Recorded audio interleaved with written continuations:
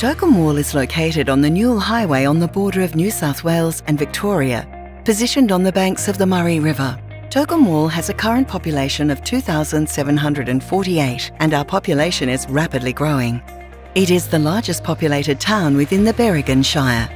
The Tocumwal Barooga and district population is expected to increase by 16.83% between 2020 and 2036.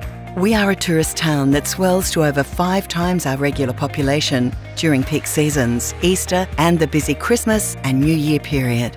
There are many popular camping beaches in and close to Tocumwal.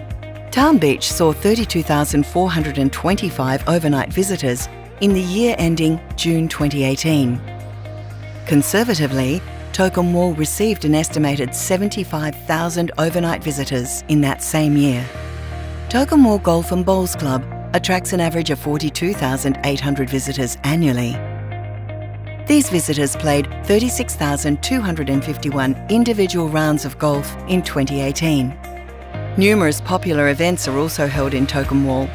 10,000 people attended the annual Strawberry Fields Festival in 2019. Also in that year, the Tocumwal Air Show saw 5,000 people gather in Tocumwal.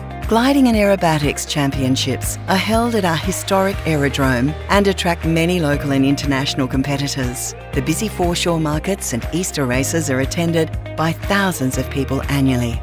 Tourists and locals alike utilise Tocumwal's medical clinic, hospital and aged care facility, all of which would benefit from, utilise and support an ambulance service. Locating an ambulance service in Tocumwal would enhance the health services available to the entire Shire.